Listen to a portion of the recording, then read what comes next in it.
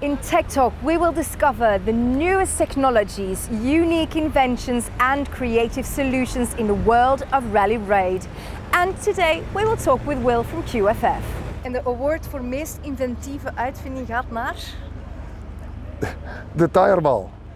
Vertel, wat, wat, wat doet dit juist? Deze ballen die, die worden geplaatst met, met 16 stuks in een band. 16. Ja, 16 langs elkaar. Ja? En die worden gelijktijdig opgepompt met stikstof.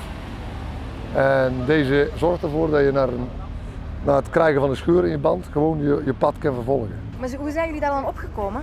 Ja, de, het product wordt in Amerika gebruikt door eh vierwiel trail sport. En wij eh, hadden het idee gehad om de, hier toe te passen. En, eh, was vorig jaar natuurlijk erg spannend, want Ja. toen wij ze voor het eerst inzetten wisten we het resultaat ook niet. Nee. Maar het is wel allemaal goed meegevallen. Ja, dus. zeker. Het is vorig jaar getest en, Ja. En iedereen was er dol enthousiast over. Hoeveel van, van de 16 die jullie onderhouden hebben dit? 90 procent. Ik hoop dat de mensen het niet nodig hebben, maar het is wel een eh, solution.